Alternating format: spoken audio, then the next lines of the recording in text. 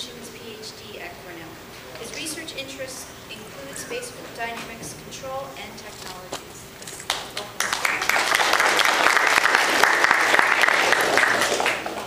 Thanks for the introduction. What I want to talk about is an algorithm that I've developed and implemented in simulation for reconfiguration of multi-body spacecraft. So let me make clear from the outset that by uh, multi-body spacecraft, as I'm trying to suggest with my title slide here, I'm talking about modular spacecraft where each module is housed in its own vehicle. And by configuration, I mean a set of positions and attitudes for all those modules. So I'm differentiating this from formations in that, that I generally make the assumption that these modules are connected somehow. Uh, but th there's possible ap applications beyond that. By reconfiguration, I mean going from one system layout to another, possibly changing the functionality of the spacecraft. So let me talk about why you might want to do this. Well, this reconfiguration problem is related to a lot of different challenges that uh, we face when we're trying to put together spacecraft and space missions. It's related to assembly, it's re related to deployment, repair, uh, adaptation of spacecraft to changing mission roles in a sort of operationally responsive space kind of sense.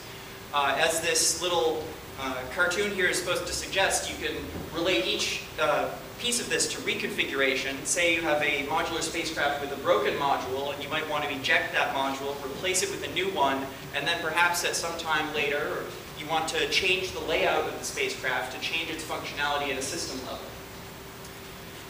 Here's a familiar reconfigurable system, the International Space Station probably all familiar with its assembly process. As it gains new modules, it gains new functionality. But during that assembly, there are also instances where the position of modules are changed from one part of the station to another. So you might move an airlock from over here to over here it, as you add modules onto one side of the space station. And that changes the way the astronauts interact with it, maybe changes other capabilities that the space station has. So not only assembly, but also moving the modules around. And what I want to do is look for opportunities to take advantage of passive physics to reconfigure space systems. And I want to take advantage of ways that we might be able to define the physics, to enforce things like collision avoidance as we move modules around. So to do this, we proposed uh, in a conference paper last year and elaborated on now a kinematic control concept. So let me uh, talk about first this, the sort of way that we typically think about reconfiguring space systems. Suppose you have a, a, system composed of modules and these vehicles are docked together in some way and you want to get them into this configuration. Well, the sort of obvious and straightforward way to do that is to have them all undock from one another, let go, and then you solve some kind of multi-body uh, tracking problem and you do some collision avoidance and try to get to the final state through some maneuvers, and then you have them all capture each other again at the end state. And I contend that this has some disadvantages in that uh, we have a lot of real-time computation requirements for multi-body control, path planning, obstacle avoidance, things like that. Uh, it has low robustness to controller communication failures. I, I saw a, a, pretty good, um, uh, there's been a lot of work done uh, on the MIT Spheres project for, for this sort of maneuver, and uh, typically they end up communicating spacecraft states between spacecraft. So if that link doesn't work, you might have collisions. Uh, and you may be expending a lot of propellant and, and uh, power to get these spacecraft to maneuver. So the concept that uh, we proposed last year is that what if instead we take this system and we constrain the bodies, we allow them to evolve, and then we constrain them again in the final configuration once that dynamic evolution is complete. And then if that, uh, perhaps we didn't get all the way to our final configuration, we repeat the constraining and evolving until we get where we want to go. So here's how the algorithm works. Let's represent a multi-body space system as a point in a configuration space. So this bottom plane here represents a two-dimensional configuration space, where every point is a set of relative positions and orientations of all the bodies. And uh, if our system has some kinematics to it, some joints and hinges and uh, things like that, then it can only move along a manifold in that configuration space. In this case, a line that might not be aligned with any particular direction, but we know that the spacecraft has to slide along this line. Along that line, for every configuration, the spacecraft has some potential energy uh, because of, of any forces acting on the spacecraft. And we know that, uh, since I'm a, a physics major from Williams, know, I like to think about potential energies and potential wells. So we know that the spacecraft is going to slide down to this potential well. In the presence of dissipation, it'll end up at this point. And there, maybe we have some options with our space system to set some new kinematics, some new line in configuration space. That line has some other potential energy that we, that uh, the spacecraft experiences, and again, it slides down to the minimum. So what we see is if I uh, change the vertical axis from potential energy to time here, when the spacecraft is constrained to move along this line in configuration space, we get some nice damped passive settling out behavior to this point in configuration space. Then we change the kinematics and we get again some nice response to some other equilibrium point. What we also get out of this is a graph structure of uh, what I call a reconfiguration graph of the system. So each of these points where we have some dynamic equilibrium is a, a point configuration space the spacecraft can get to. And each of these, these uh, sets of kinematics and the potential energy that causes these transitions is an, an, edge on the graph, a connection between nodes that tells us we go from one to the other, and then from this one to the third one. And then from there, the question is, can we explore this graph? We do it through simulation to try to identify what other configurations we can get to. Are there any ways to loop back to previous configurations, to change potential energy in some way so that we can have systems that don't just go one way, but we can pick any of its possible configurations and get to them?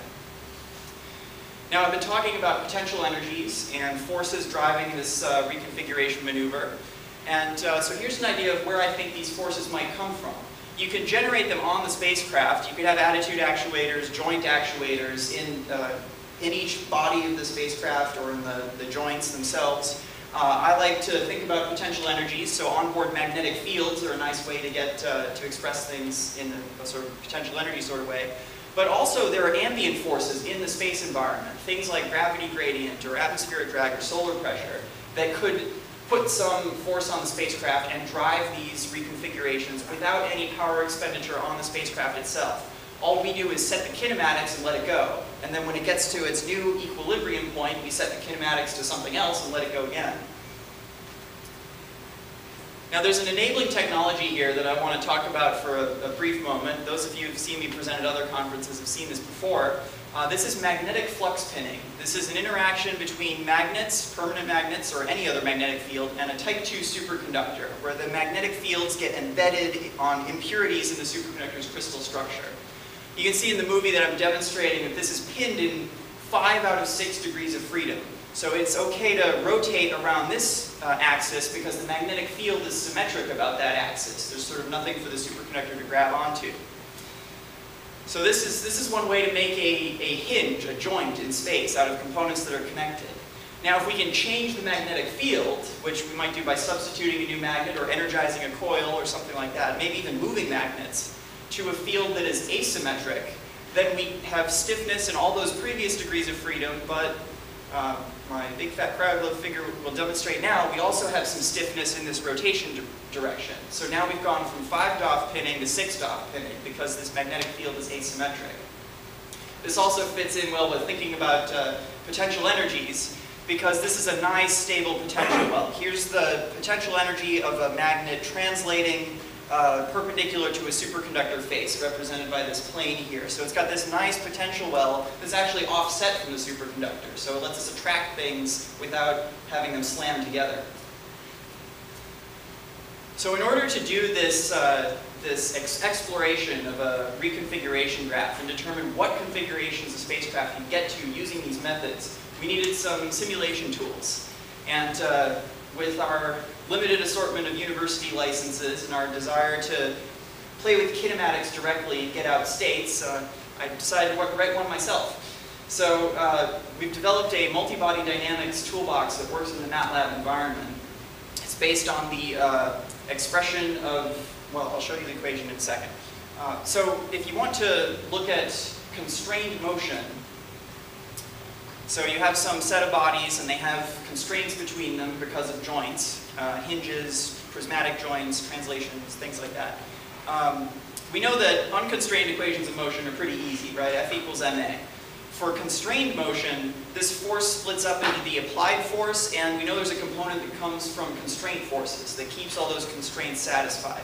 Now maybe we don't solve for that directly, and instead we just impose the constraint as something of, for example, this form, some matrix that depends on your states and velocities times an acceleration vector equals some other matrix. This is the way uh, Udwadia and Kalaba um, in the early 90s, I think, expressed it to develop equations of motion. This is a, a method of developing equations of motion that I hadn't seen until last year, so I'm going to go into a little bit of detail about this to explain what it does. But what's interesting about it is that it explicitly takes into account constraints, and that's what I want to play with.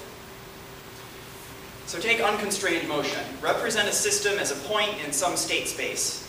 So you have some initial state, some initial velocity, you put a force on it, you get an acceleration. Easy. Okay. So now if we have constraints, those A and B matrices, that means that this point has to move along some kind of surface in n-dimensional space, right?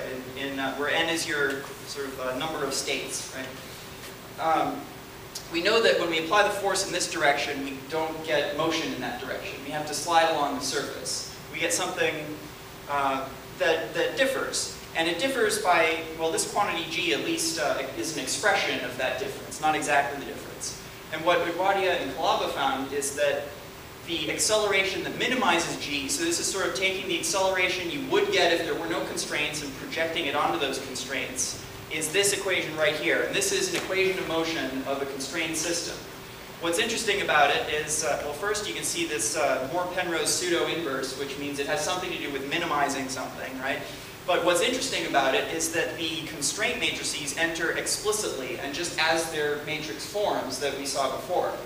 So these are the things I want to monkey around with in my simulation tools, and so this is a very nice way to, to pop out equations of motion for those things.